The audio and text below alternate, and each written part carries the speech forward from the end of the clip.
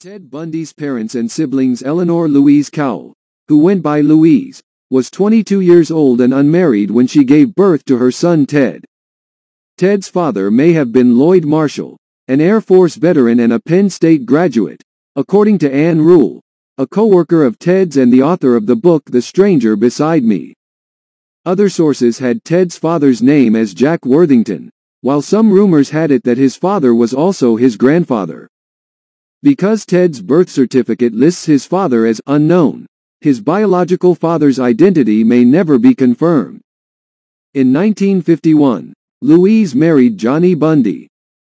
While Ted took his name, he reportedly didn't have much respect for his stepfather, whom he resented for being too uneducated and working class. Johnny and Louise had several children together. Louise was working as a secretary at the University of Puget Sound and still married to Johnny in the 1970s when Ted was accused of his crimes. She refused to believe the charges for years, although she changed her stance after he confessed. Early life Bundy was born in Burlington, Vermont, on November 24, 1946. Bundy started life as his mother's secret shame, as his illegitimate birth humiliated her deeply religious parents. Louise delivered Ted at a home for unwed mothers in Vermont and later brought her son to her parents in Philadelphia. To hide the fact he was an illegitimate child, Bundy was raised as the adopted son of his grandparents and was told that his mother was his sister. Eleanor moved with Bundy to Tacoma, Washington, a few years later, and soon married his stepfather Johnny.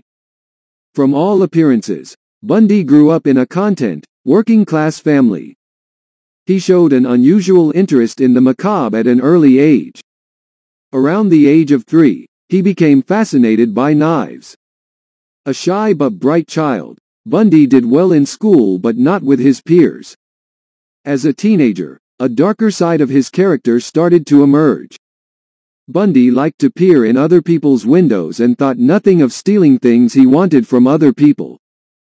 Education Bundy graduated from the University of Washington with a degree in psychology in 1972. He had been accepted to law school in Utah, although he would never earn his degree. While a student at the University of Washington, Bundy fell in love with a wealthy, pretty young woman from California. She had everything that he wanted. Money, class and influence. He was devastated by their breakup. Many of Bundy's later victims resembled his college girlfriend, attractive students with long, dark hair. By the mid-1970s, Bundy had transformed himself, becoming more outwardly confident and active in social and political matters. He even got a letter of recommendation from the Republican governor of Washington after working on his campaign. Victims Bundy confessed to 36 killings of young women across several states in the 1970s, but experts believe that the final tally may be closer to 100 or more. The exact number of women Bundy killed will never been known. His killings usually followed a gruesome pattern. He often raped his victims before beating them to death. While there is some debate as to when Bundy started killing, most sources say that he began his murderous rampage around 1974. Around this time, Many women in the Seattle area and in nearby Oregon went missing. Stories circulated about some of the victims last being seen in the company of a young, dark-haired man known as Ted. He often lured his victims into his car by pretending to be injured and asking for their help. Their kindness proved to be a fatal mistake.